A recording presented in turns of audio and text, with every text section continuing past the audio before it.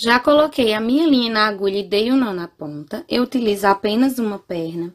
Eu vou colocar a minha agulha aqui no lugar que eu quero. Vou dar um ponto. Puxo. Vou dar mais um pequeno ponto. E vou girar a minha linha em volta da minha agulha de três a quatro vezes. E vou puxar. Aqui eu já tenho um nó bem reforçado e eu não preciso mais desse. Então, eu já posso cortar puxo e corto. O meu nozinho tá bem aqui. Eu vou dar um pequeno pontinho aqui depois dele e vou jogar aqui, ó, pro início, onde eu quero colocar a primeira pedraria. Puxo. Esse primeiro chaton eu vou pegar de baixo pra cima, porque eu quero dar uma trava nele. Então, eu vou puxar. E vou posicionar ele aqui no lugar que eu quero. Ó, bem rente. Então, aqui eu vou entrar rente a pedraria. Vou pegar aqui um pouquinho do tecido, ó. E vou subir por dentro do furo novamente, que é pra dar uma trava. Puxo. Já prendi de um lado, agora eu vou entrar bem rente a pedraria e vou jogar aqui para frente em direção a esse próximo furo. Aí você me pergunta, Madá, esse espaço precisa ser exato? Não, ele não precisa ser exato, mas pelo menos aproximado. Ó, vou puxar. Minha pedraria, ó, já fica no lugar. Aí, eu venho com a minha agulha e passo de baixo para cima por dentro dela. Puxo. Aí, agora sim, eu começo a dar pontos mais rápidos. Então, eu vou entrar aqui, ó, com a minha agulha rente, vou dar um pequeno pontinho à frente e vou puxar. Minha pedraria já ficou bem presinha no lugar. Aí, eu pego o próximo chatão, veja que esse, ó, eu entrei do lado direito para o lado avesso. Aí, eu vou entrar aqui, ó, bem rente, e vou jogar a minha agulha para frente, para o próximo furo da pedraria. Puxo. Ó, ela se encaixa no lugar. Aí, eu passo a minha agulha agora de baixo para cima do furo. Puxo. E aqui, eu vou aproveitar para dar uma travinha, para deixar bem firme. Então, eu entro aqui com a minha agulha rente à pedraria, pego um pouquinho do tecido e subo novamente por dentro do furo puxo. Vou entrar aqui rente a minha pedraria, dar um pequeno pontinho à frente. Puxo novamente.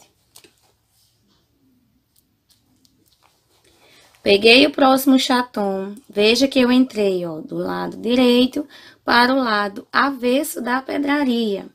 Eu vou deixar um pequeno espacinho aqui, um pequeno pontinho eu vou dar, que tenha mais ou menos o tamanho aqui, ó, entre o furo e a borda. Então, é um pequeno espacinho, um mínimo. E aí, dou um espaço à frente, que tenha mais ou menos o tamanho da pedraria, o espaço entre um furo e outro. Puxo,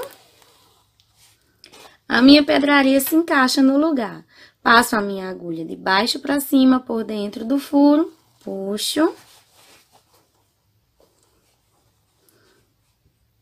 Entro bem rente aqui à pedraria, pego um pouco do tecido e subo por dentro do furo. Puxo. Entro rente à pedraria, dou um pequeno pontinho à frente. Puxo. Pego a próxima do lado direito para o lado avesso da pedraria. Dou mais um pequeno pontinho. Dou espaço à frente puxo, ela se encaixa, aqui eu passo a minha agulha de baixo para cima, posiciono no lugar que eu quero e dou uma travinha. Entro rente, pego o tecido e volto por dentro do furo. Puxo, vou entrar aqui rente e jogar aqui pra frente, onde eu vou colocar a próxima pedraria. Todos esses chatões, preto, prata e grafite, a forma de aplicação é a mesma, porque eles são a mesma pedraria, é o filete. Então, eu vou repetir todo esse processo até o final. Cheguei ao final, já dei uma trava e para aproveitar a linha, eu vou entrar aqui rente e vou jogar aqui para o lado onde eu vou começar a aplicar a próxima pedraria. Puxo. Voltei com o tecido colorido para vocês entenderem, pois o preto no preto ficou muito escuro. Eu já dei um arremate inicial, arrematei com a linha branca para vocês verem melhor. E agora, eu vou pegar a minha pedraria do lado direito para o lado avesso. A minha linha inicial está saindo aqui. Eu vou dar um pequeno pontinho aqui à frente, mais um espaço. Puxo. A minha pedraria se encaixa e eu passo a minha agulha de baixo para cima por dentro do furo. Eu vou entrar bem rente à minha pedraria, dando um pequeno espacinho à frente. Esse espaço vai ser a distância entre uma pedraria e outra. Puxo. Vai ficar assim. Vou pegar a próxima pedraria também do lado direito para o lado avesso. Vou dar um pequeno espacinho à frente, mais um pontinho maior. Puxo. Passo a minha agulha de baixo para cima por dentro do furo. Entro rente e dou um pequeno pontinho à frente. Vou fazer novamente, tá?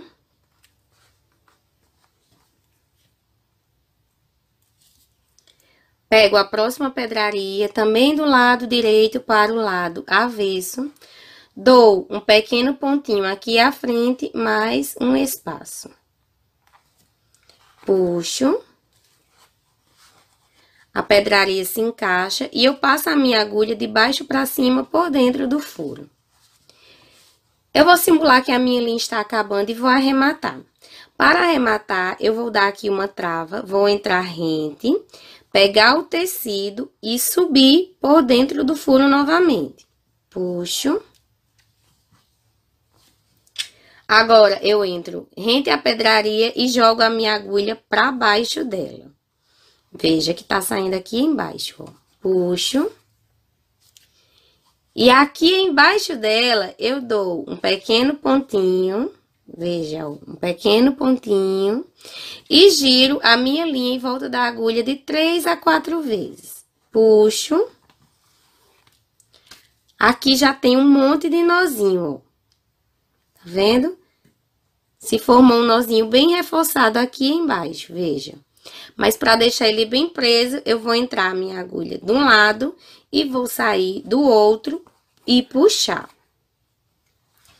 Aqui eu já tenho um nó bem reforçado, então eu já posso cortar o excesso dessa linha. Vai ficar assim com todos os arremates feitos por baixo da pedraria. Aqui eu utilizei a pedraria redonda na cor preta e na cor grafite, mas a aplicação delas é a mesma. Já dei um arremate. O arremate para iniciar e finalizar é o mesmo em todas as pedrarias. Essa primeira eu começo pegando do lado avesso para o lado direito do, da pedraria. Aí eu posiciono no lugar que eu quero, seguro firme com o dedo, entro bem rente, pegando o tecido e subo novamente por dentro da pedraria.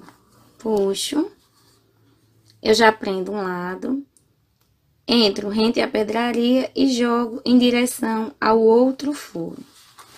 Puxo. Passo a minha agulha de baixo para cima no outro furo. Puxo. Eu vou entrar bem rente aqui à pedraria. Eu pego um pouquinho do tecido, dou um pontinho no tecido e subo por dentro do furo da pedraria novamente puxo.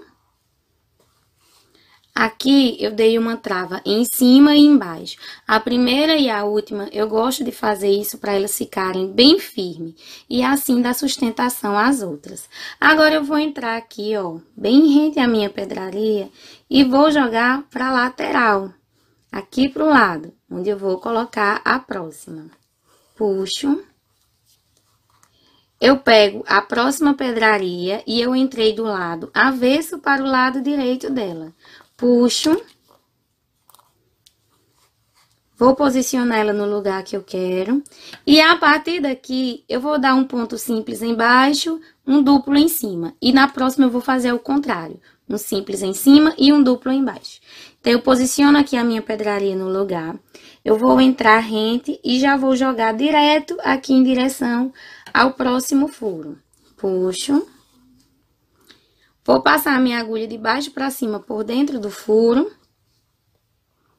E para firmar essa pedraria no lugar, aqui em cima eu vou dar uma trava. Entro rente a pedraria, pego um pouquinho do tecido e subo de novo por dentro do furo. Puxo. Vou jogar aqui a minha agulha para a lateral, onde eu vou colocar a próxima. Então, eu entro rente e dou um pontinho aqui para o lado. Puxo. Pego a próxima pedraria do lado avesso para o lado direito dela. Puxo. Posiciono no lugar. Como aqui eu dei um ponto duplo, que é uma trava, então, aqui em cima, agora eu vou dar um ponto simples. Então, eu entro rente e já jogo direto em direção ao próximo furo. Puxo. Aqui eu passo a minha agulha de baixo para cima, no outro furo da pedraria puxo, e aqui embaixo, já que aqui é um ponto simples, eu vou dar um ponto duplo. Entro rente a pedraria, pego um pouquinho do tecido e subo por dentro do furo novamente. Puxo. Vou entrar com a minha agulha rente, jogar aqui para a lateral, onde eu vou colocar a próxima. Puxo. Pego a próxima pedraria do lado avesso para o lado direito Posiciono no lugar, como aqui tem um ponto duplo, eu vou dar um simples e vou jogar em direção ao próximo furo, aqui em cima. Passo a minha agulha de baixo para cima por dentro do furo, posiciono no lugar que eu quero e dou uma trava. Entro rente a pedraria, dou um pontinho aqui para o lado, onde eu vou colocar a próxima. E esse mesmo processo eu vou repetir por todo o top. Lembrando que quando em cima eu der um ponto simples, embaixo eu dou um duplo. E assim eu vou trocando para que todas as pedrarias fiquem bem firmes. Esse bordado são pontos repetitivos, então eu vou continuar repetindo o processo e daqui a pouco eu volto para mostrar o resultado. Dois mil anos depois. O resultado do cropped é esse. Eu dei pontos bem leves para que o avesso ficasse limpo. Então, eu peguei o tecido só da parte de cima. Todos os arremates foram escondidos atrás da pedraria. E esse bordado requer só repetições, porque todas essas pedrarias aqui, elas são aplicadas da mesma forma aqui embaixo e aplicada da mesma forma aqui em cima. E a mesma coisa com esse chatão redondo. Todos eles foram aplicados da mesma forma.